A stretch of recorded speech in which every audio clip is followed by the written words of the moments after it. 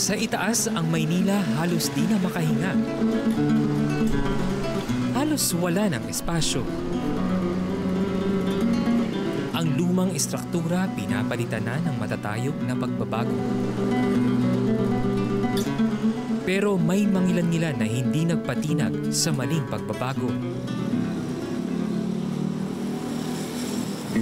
Ang Henry Hotel ay isang 32-room boutique hotel. Inuukupa ang limang bahay na itinayo noong 1948. Dating pagmamayari ng isang Chinoy na negosyante.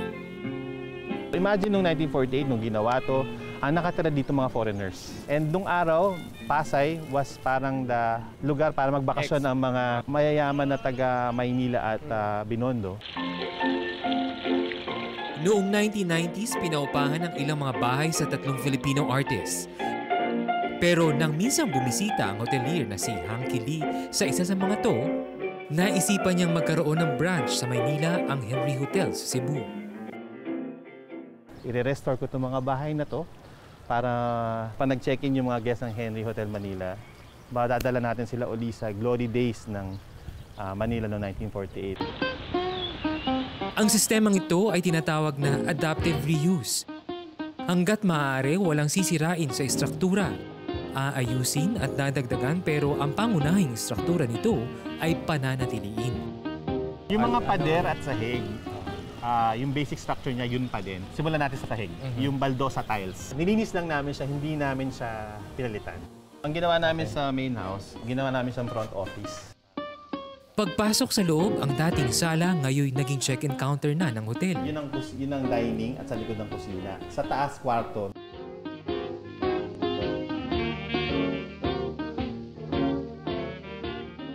Main building na ito ang siyang naging tahanan ng may-ari. Ah, lahat ng bahay dito, two-story. Story lang siya. Ang divider, hagdan, walang pagbabago. Ang dating master's bedroom, ngayon ang maituturing na main suite ng hotel.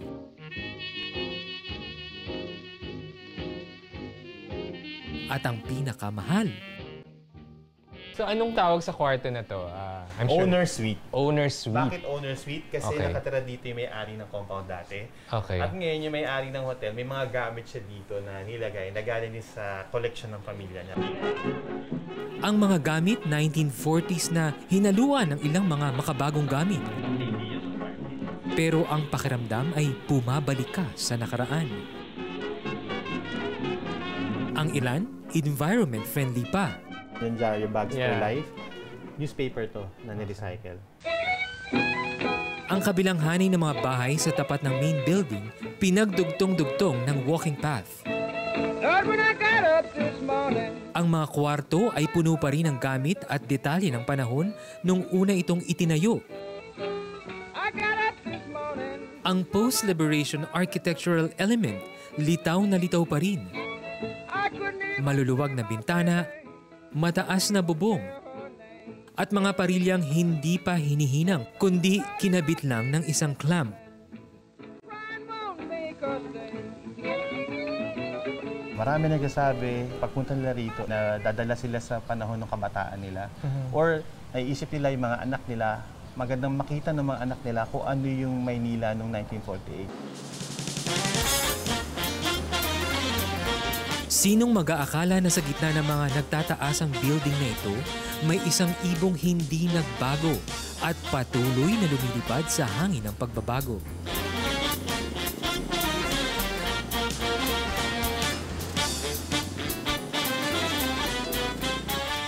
Ito ang Nielsen Tower, ang kauna-unahang airport terminal dito sa Pilipinas. Ipinatayo ito ng isang Englishman businessman na si Laurie Ruben Nielsen. 1937 nang buksan nila ito sa publiko. At matapos ang 79 na taon, muli nila itong binuksan at ginawang restaurant na kung tawagin ngayon ay Blackbird. Ang disenyo ng gusaling ito ay parang isang ibon mula sa itaas. At ang dati niyang runway ay itong Paseo de Rojas at ang Ayala Avenue.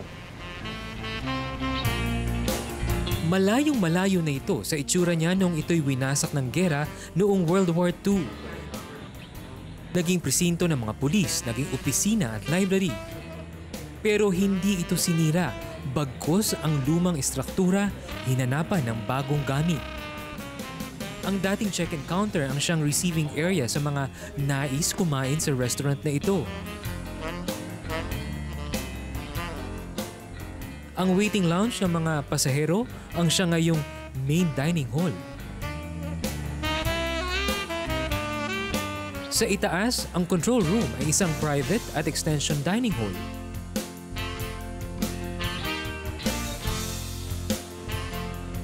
So dito sa dining area, kung mapapansin nyo, dalawang orasan. Isa sa kaliwa na oras ng Maynila at ito namang nasa kanan ay oras sa California.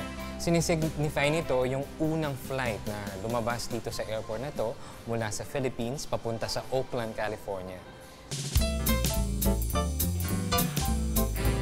Habang ang likuran naman na dating airline hangar, ngayoy trellis na.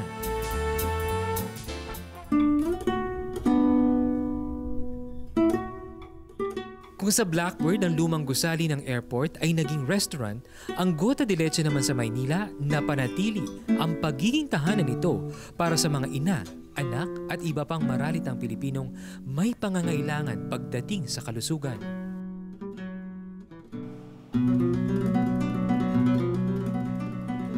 Si Ana Lea Sarabia ay parang lumaki na rin sa gusaling ito, hindi bilang pasyente.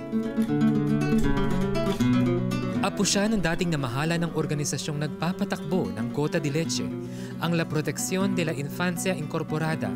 Nakikita ko, ang dami-daming tao palagi. All my playmates were mga nurse, doctor, mga. This part, this used to be um, full of milk. Those big barrels of, of milk. Uh, moms would come here, may dala silang maraming bote na yan, tapos uh, exchange for filled up again. Ang Gota de Leche o patak ng gatas sa wikang Filipino ay itinatag noong 1907 ng dating US President na si William Howard Taft at dinisenyo ng magkapatid na arkitektong sina Arcadio at Juan Arellano. Pawang mga babae ang nagtatag ng isa sa kauna-unahang NGO group dito sa Pilipinas. Sa pangunguna ni Trinidad Rizal, kapatid ni Dr. Jose Rizal. At si Concepcion Felix de Calderon, There were other services, not only uh, the giving of milk. They had, the children had to be checked up. Marami dyan, may mga sakit. Tapos yung uh, bibigyan ng vitamins, bibigyan ng medicine. Kung kailangan, kung may malubhang uh, sakit, dadalhin sila dun sa kabila, sa hospital. Pero dahil na rin sa katandaan ng gusali, marami ang naging problema. Inaanay, may sira ang mga alulod at electrical wiring. Ang pondo ay isa lang sa mga problema ng gusaling ito. Kadalasan kasi ang gastusin ay laging nauuwi sa pagtulong sa mga nangangailangan.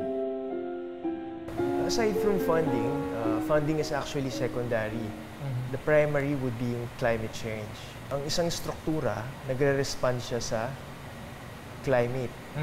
So the more it responds, the more it uh, dilapidates quickly. Ang mga ulan, polusyon at pagbabago ng panahon ang siyang gumagawa ng pagkakataong dumami ang peste sa loob ng gusali at nagpapalala ng pagtagas ng tubig ng baha. Kung kaya't noong 2002, matapos makalikom ng sapat na pondo, sinimula ng arkitektong si Anton Villalon na muling ibalik at ipakita ang Italian Renaissance design ng gusali. Lahat ng nakikita niyo dito, it's uh, more or less original. Uh, nirepaint lang ito. Sumasalamin din ito, parang meron itong inspirasyon na galing sa Greek tsaka Roman uh, inspirations. Yes, yes.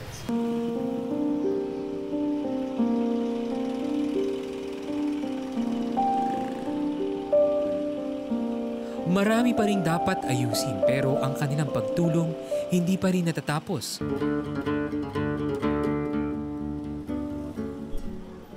Tulad ng gota de leche ang Casa Tesoro sa Ermita na panatili ang kanyang orihinal na struktura sa mahabang panahon. The building must have been extant since early 1900s, based on the architecture design, the 12-foot high ceilings, the concrete molding, the French style of double windows. That was the style before even World War I. 1901 ang itayo ang malaking bahay na ito sa Ermita na nooy tagong lugar para sa mga bakasyonista.